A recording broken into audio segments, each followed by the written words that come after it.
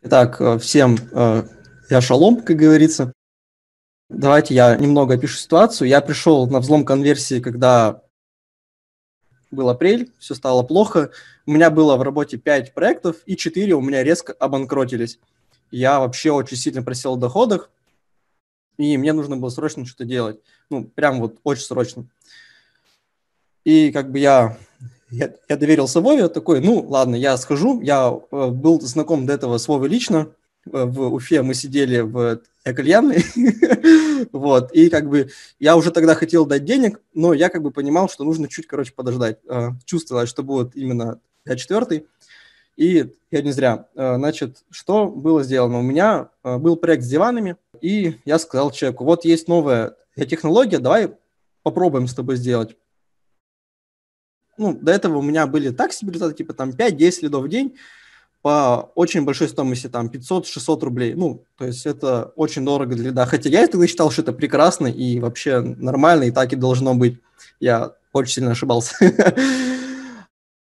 Получается, когда Женя Маслов рассказал про эту технологию, я быстро все собрал, переделал, мы в чатике поменяли чуть-чуть офер, мне докрутили, мой куратор доделал буквально квиз, я запускаю, у меня просто там раз в день там 20 следов. Я такой, опа, уже что-то хорошее. Притом они достаточно дешевые. Притом это был самый первый день, когда реклама еще не разогналась. Я такой, хорошо.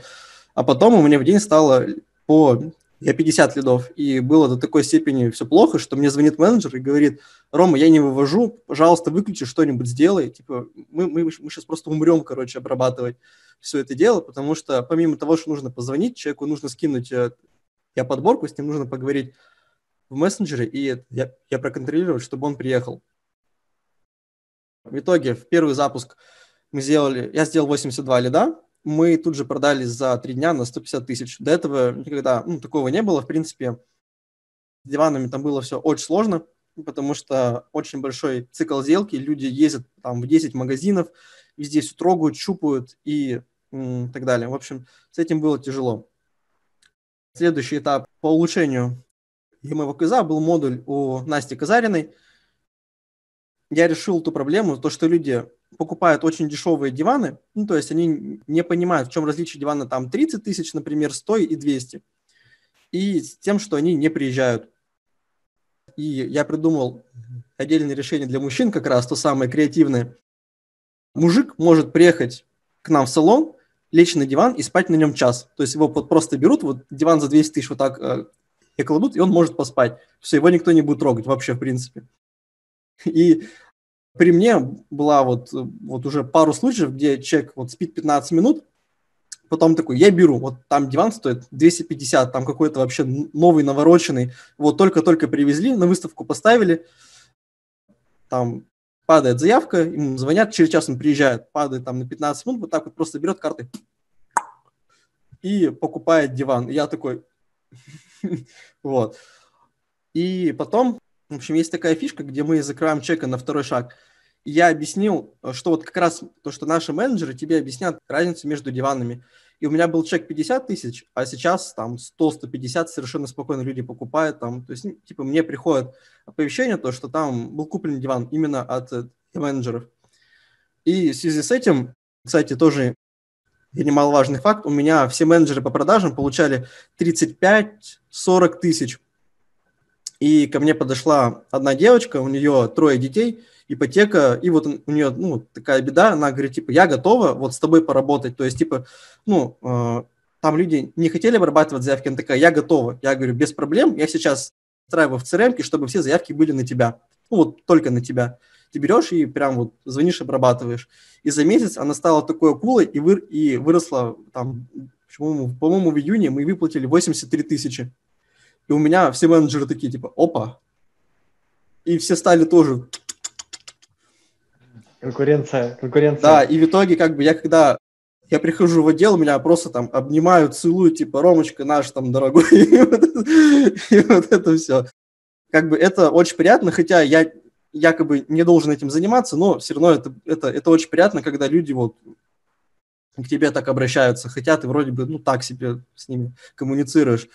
И как бы сейчас я пошло-поехало, то есть например, в другой нише, а, вот как раз вот про боли и все такое, у меня сейчас есть магазин с мужской одеждой, они продают а, турецкие мужские костюмы, и у них была проблема, типа мы заказали сайт, нам его делали 4 месяца, заплатили 20 тысяч, сейчас нам месяц делают рекламу, все, мы сейчас отливаемся, все хорошо, типа, я говорю, ребят, давайте вот поспорим, вот вы мне сейчас даете денег, через три дня у вас э, лидов будет больше, чем у них. Они такие, да не, не бывает, там вообще супер профессионалы. Я говорю, хорошо. В итоге, что-то я сделал, ну, по-моему, я за две недели сделал 70 заявок, а вот тот, короче, лендинг, который супер-пупер и все, он сделал 8, что ли. Что-то такое было. То есть у них было 8 тысяч бюджета, у них 1000 стоила заявка, ни одну они не закрыли, а у меня было 70 по 120 рублей. Или, или, или, или э, я по 100 рублей. И они такие, блин, может тебе мы просто все отдадим? Ну, типа, зачем нам кто-то, есть, если есть Ромочка? И как бы вот.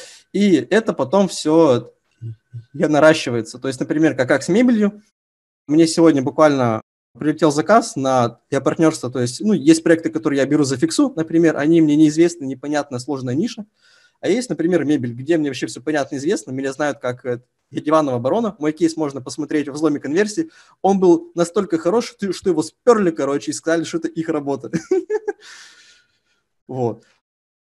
Это, кстати, тоже одно из э, я признаний, когда вас копируют, и у них при этом ничего не получается, потому что они не понимают, что ну, дело не только в квизе, там еще есть э, гораздо больше технологий, которые стоят за ним. Этому вас, в принципе, тоже научат. То есть как вот делать так, чтобы люди вот не только оставляли заявку, потому что часто бывает, э, ты звонишь, тебе говорят, а мы вот просто хотели стоимость посмотреть или еще что-то. У, у, у людей нет желания купить, а оно должно быть. Они должны присесть такие, типа, господи, лишь бы сейчас приехал замерщик и мне все сделал. Вот, надо уметь, как бы, это неплохо, это хорошо, когда человек действительно вас ждет именно в вашу компанию, вашего клиента, и тогда вас будут ценить, любить, у вас вообще всегда будут клиенты. К этому даже не, не, не особо нужно много прилагать усилий. Самое смешное было, я приехал в Яковоркинг просто потусить, и там был управляющий этого магазина э, мужской одежды. И в коворкинге проблема, они не могут э, туда никого заселить. Он такой, блин, дайте ему денег, он вам сейчас все сделает. Нормальная тема. Вы говорите, вот как, как находить клиентов, куда они все делись? Никто не платит денег вообще за маркетинг. Фрилансерам там сейчас придется пробовать жить. Ну, Старые времена ушли, ну, реально у предпринимателей больше нет возможности там играть, играться в развитие. Сейчас э, вопрос на выживание часто стоит. Я считаю, ребят, что вам нужно, как и я, я довериться Вове и э, сюда прийти, вы освоите именно вот те, те технологии, и у вас, скорее всего, получится делать такой результат. Естественно, это нужно сделать, чтобы это получилось, но у меня как бы получается, у других получается в общем, может быть, где-то будут косяки, это нормально, но вам, вам помогут и в чате, и я куратор, и в чате группы, то есть вас все разрулят, все будет хорошо, и будут клиенты, будут деньги там, будем делать бизнес, покупим себе тапки и вот это все.